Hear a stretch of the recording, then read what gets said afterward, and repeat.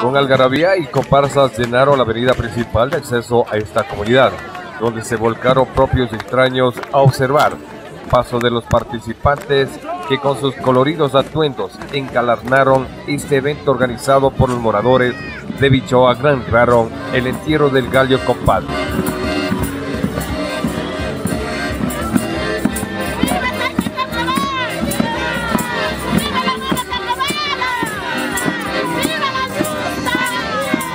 Autoridades municipales, Teita Carnaval, Reina de Boranda, concejalas, fueron la atracción de los turistas que visitaron en esta temporada carnestolenta. La unidad de los pueblos y de las autoridades se observó durante este periodo ícono de los bolivarenses.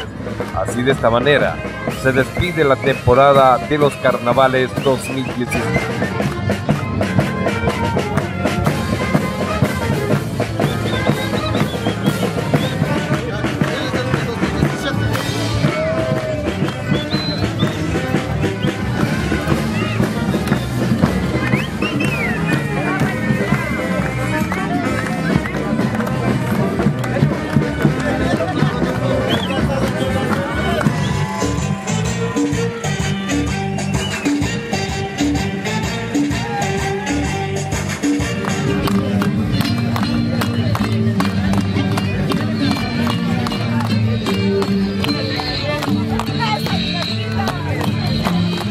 Para Canal 5, Televisión Municipal reportó Javier Lumbi Alarcón.